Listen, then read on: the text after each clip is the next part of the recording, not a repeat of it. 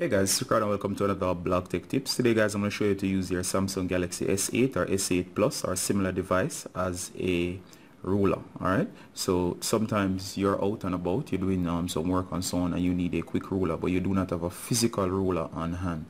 And of course, it's important that you do exact measurements. I'm going to show you to use the Galaxy S8 to achieve that without a physical ruler as seen over here. The first thing you want to do guys is to make sure that um, your quick access panels is um, enabled.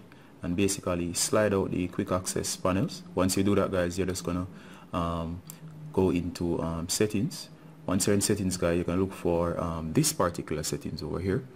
I'm just gonna slide these over. And what you're gonna look for is um, this one that says quick tools which is disabled by default now once you see quick tools you're gonna go ahead and check quick tools. Then you're gonna exit the panel.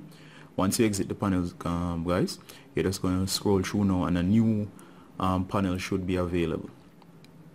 And there you go. This is the panel itself. It's called quick tools. And what you're going to do is you're going to look down here. You're going to notice there's a ruler.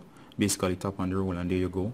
You actually have a functioning ruler that you can actually um, use. So as you see here guys you can actually use this ruler and you can actually make exact um, measurements as you're seeing here. Basically put it up against the paper. And of course you can make your exact um, measurements as you're seeing here. So you can see I can make a line.